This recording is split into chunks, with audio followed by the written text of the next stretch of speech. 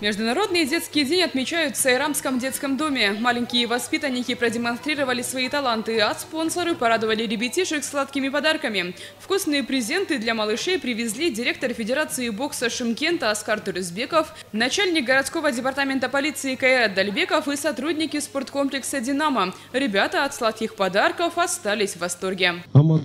Прежде всего, хочу поздравить вас с праздником Днем защиты детей. Растите здоровыми и счастливыми. 2022 год президент назвал годом детей. Пусть у вас все сложится удачно. Концерт продолжился спортивными состязаниями. На спортивной площадке организовали перетягивание каната.